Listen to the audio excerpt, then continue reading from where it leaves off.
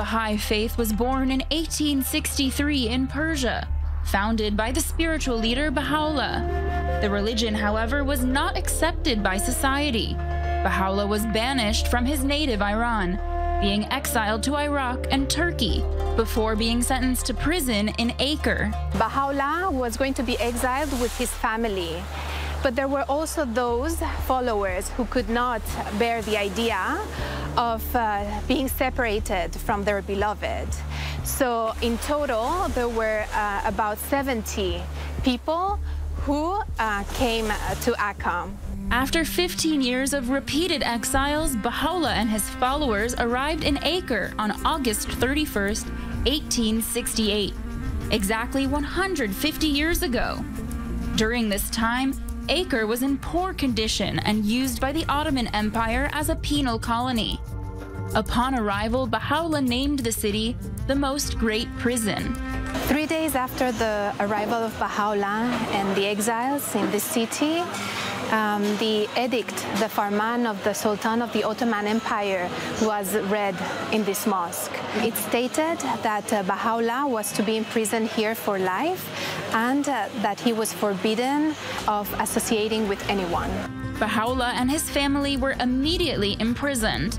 However, the usual jail cells were too small for the large group. The barracks were originally used for the Turkish troops However, because there were a large number of people, about 70 in total, they needed a larger space to accommodate all of them, so they brought them here to the barracks. While in prison, Baha'u'llah wrote many religious texts.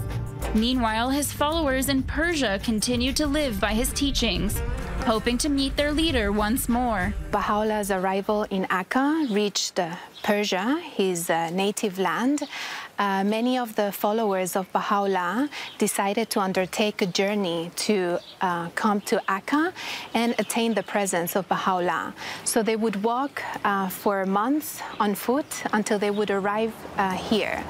Uh, but unfortunately, they were arrested and interrogated as they were recognized as followers of Baha'u'llah, and they would be rejected from the city. During the two years Baha'u'llah spent in this jail cell, religious pilgrims would wait on a hill outside the prison behind the city walls, trying to get a small glimpse.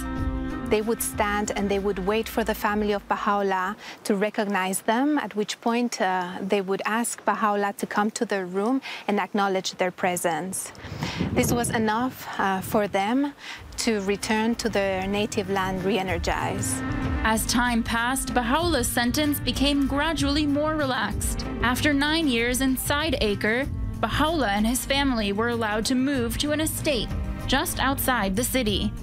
The house was built uh, by Udi Khammar, who uh, was living there in 1879, but there was a plague and he had to flee, and shortly after he passed away. Uh, Baha'u'llah's eldest son, uh, Abdul Baha, he was able to rent this place, and this is where Baha'u'llah spent the last 13 years of his life. 150 years later, this spot is called Bahji. The holy site is surrounded by beautiful gardens. Today, thousands of Baha'i pilgrims travel to the Holy Land every year, visiting the Bahji and retracing Baha'u'llah's footsteps through Acre.